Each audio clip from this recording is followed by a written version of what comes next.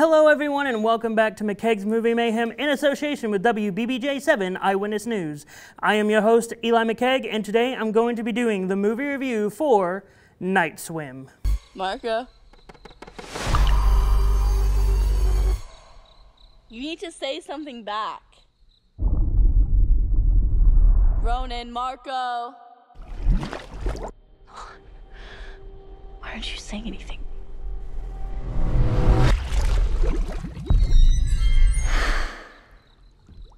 Night Swim is the newest horror film from Blumhouse and Atomic Monster. In fact, this is the first film under their United branch.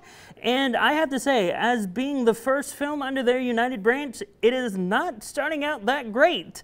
Night Swim is sort of a disappointing start to a two major horror film production companies merging together, and this is sort of their first movie out, and it's not it's, it's not a great movie, I can tell you that. But I will say the thing that will make people afraid of Night Swim are people that have thalassophobia, because there are a lot of moments in this film where people are just swimming down and down and down and down in this pool to the point where there's just so much open water and there's a lot of darkness in this water to where you're like, oh, I can't see what's around me. This is terrifying. And to the people that have thalassophobia, this this is a movie where you might want to skip, but in terms of being a horror film, this movie wasn't really scary to me. And the basic premise is a family moves into this new house that has an outdoor pool and the pool is haunted and the one of the family members starts sort of getting possessed by the pool and chaos ensues. So very much this movie didn't really have a lot to deliver in terms of horror. There are a lot of moments where I felt like the movie was trying to be scary, but it didn't really make me feel scared because the entire time I was watching the film, all I was thinking was, man, some of these characters are making really dumb decisions. And I know that's normal for a horror film to have that feeling of, oh, these characters are making dumb decisions but it's something to where if you're in this area and you've been around this pool area for a lot of times throughout the entire movie and you know there's something wrong with the pool like you just know something's wrong with the pool and suddenly you just start hearing something that makes you go oh i'm to go by the pool. It's like no you know there's something wrong with this pool. You have known for a while that there is something wrong with this pool why are you trying to make the pool work? Why are you going near the pool? It's just some of those dumb decisions that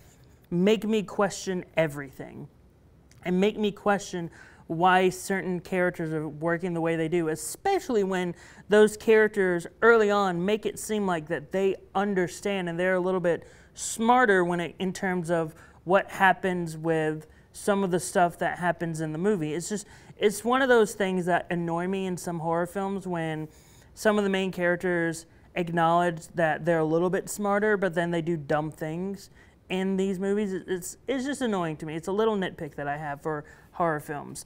Also, just again, there are a few jump scares in it, but they didn't really scare me because I think it was just one of those things where I just expected it, and also like in the back of my head for some of the creature designs and some of the character designs for some of the horror characters, I had little jokes in my head. Like there was one like horror thing that was in there, and all in my mind I was thinking, oh, that's Danny DeVito.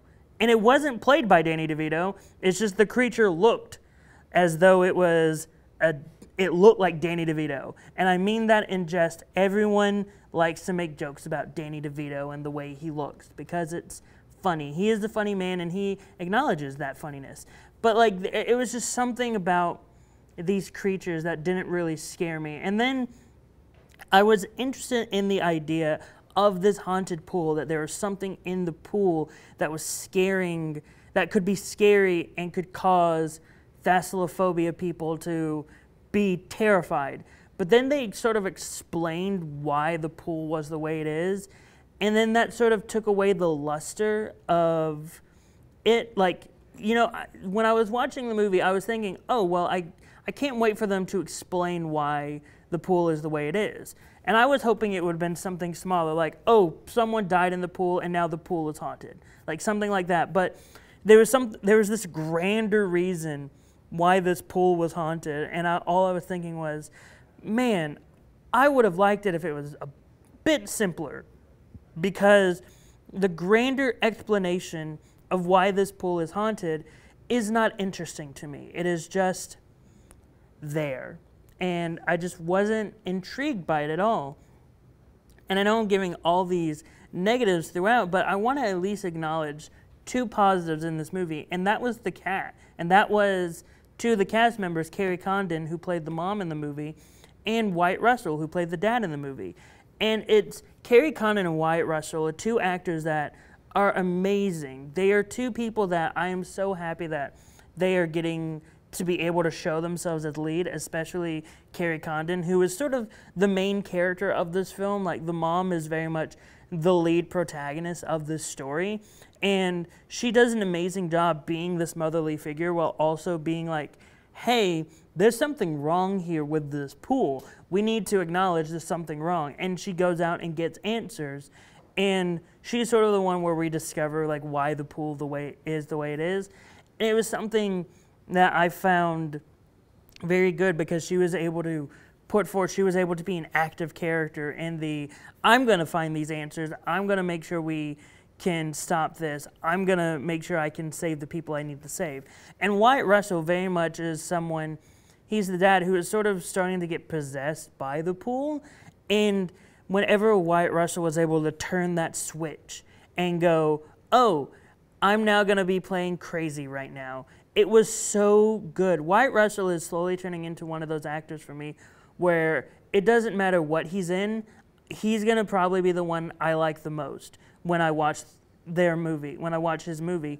And he was great in it. And I'm I'm so glad they were able to let him have that little fun in playing a sort of villainous version of his character, even though the non-villainous version of the character is also a really good character. I have to, I really did enjoy their characters and I enjoyed their acting. It was just everyone else's character and just the story in this film really didn't help me acknowledge and like enjoy the film as much as I did. I felt myself in my head not being scared. I felt that I was making more jokes in my head as I was watching the movie, like sort of not making me afraid of the film, and then just sort of the dumb decisions that they had the characters make. Now, I mean, like this shot right here is like the best shot of the film, like the upward shot of someone swimming across the pool. Like that's, in my opinion, one of the best shots of the film. It's just unfortunate that it's only there one time. So yeah, I think I think if you want to watch this film, you go watch it for yourself. I don't recommend going out and watching this movie. Like, you can save money. You don't have to go watch this movie, in my opinion. So overall, I give this film a 2 out of 5 stars, a 4 out of 10. Next week, I'm going to be hopping back into the realm of movie musicals as I watch the 20 year remake, and by 20 years I mean it's been 20 years since the last one came out.